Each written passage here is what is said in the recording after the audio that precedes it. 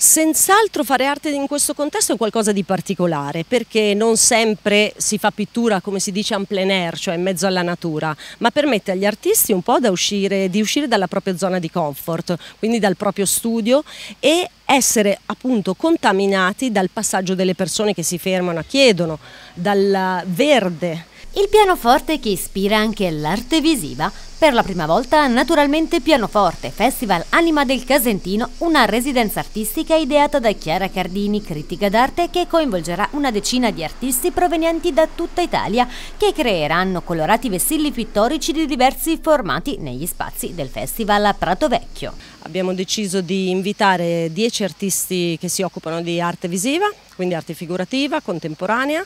a eh, raccontare l'esperienza che il festival offre e eh, lasciarci suggestionare dalle persone che abitano questi luoghi, dall'ambiente e soprattutto dalla musica del pianoforte che volando nell'aria ci ha fatto pensare che anche i colori potessero essere qualcosa che testimoniasse il tema della resistenza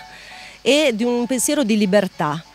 Perché questo? Perché eh, abbiamo deciso che non fossero semplicemente quadri con una cornice, ma fossero degli standardi, come in passato esistevano cortei civili, cortei religiosi, processioni in cui si sventolavano delle bandiere, ecco magari gli artisti visivi non saranno proprio degli alfieri esperti nell'arte del gioco della bandiera, ma potrebbero essere degli alfieri portatori di un pensiero di libertà e di comunità.